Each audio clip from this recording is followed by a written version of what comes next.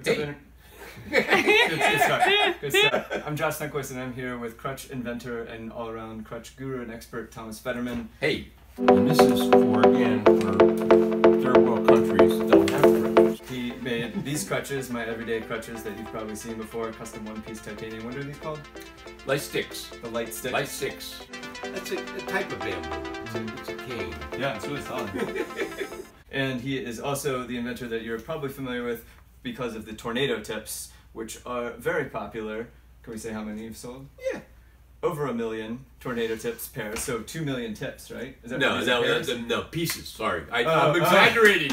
I'm So exaggerating. five hundred thousand. Five hundred thousand pairs. Because I feel like now I just see those worldwide. So that, that to me is like the gold standard crutch tip. It is. Thank you. Yeah. These are the tips that I use now. The Tornado Air, which are like the Tornado tips, except much lighter. Much lighter, Is that a right. fair summary? They don't last as long as the standard Tornado tip, but they're so light, so it's much easier just in, in terms of walking because they're light, but also it has that slip resistant rubber. Amazing. And that's why I use it. I mean, to me, I feel like uh, for me, the biggest uh, threat of injury is not noticing That's water Drop, drop of water. on like when I'm carrying something, especially like in a cafeteria or a restaurant, and slipping. So Lethal. to me, it's like this. This is kind of my uh, my insurance against. Designed the Civil War. oh yeah. uh, and that was for officers because it has a, a, horse tail. They used the tail of a horse up there at the top and wrap it in leather. Yeah, these are called peace tips uh, because of the peace sign on the bottom. That makes sense.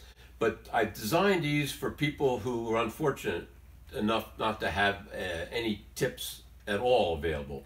And these are people who live in developing nation. I use a very high quality rubber and, and mix it with this micronized silica and it makes an extremely durable tip. And they've had the same pair on now for four years. Four years, mind you.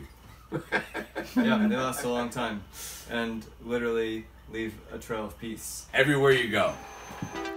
Yeah, that's the shepherd. That's the shepherd. Up, up there. Yeah, so they, you, you put, not put in your pit, especially against your rib cage. Right. It does flex. Uh, it flexes this cuff. Oh, that's clever. I would love if there was a crutch where it's like it had a bendable cuff, but there was a way that it could sort of lock into place like this, right? So that I could kind of like say carrying a tray. You know what I mean? If it could like get That's a, a double trough. This is one for polio. They don't have Oh, the strength in their upper arms, so they have to have it cradled. almost I feel like sometimes more rude for me to be like, oh no no, I don't need your help. Yeah. And then they I- I feel don't bad for asking, like, oh I'm so Yeah, yeah, sorry, I didn't mean to insult you. Yeah, But it's, it's easy I, to just be like, I "Please, don't do you." that anymore. I just say, hey, thanks very much. Yeah.